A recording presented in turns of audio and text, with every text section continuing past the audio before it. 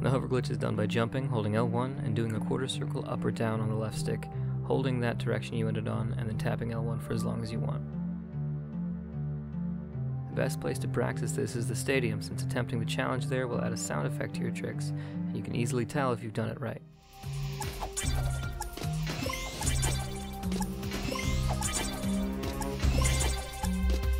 One chime means you've done it wrong, two chimes means you've done it right.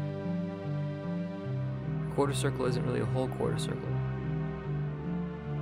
It's more like just half of one.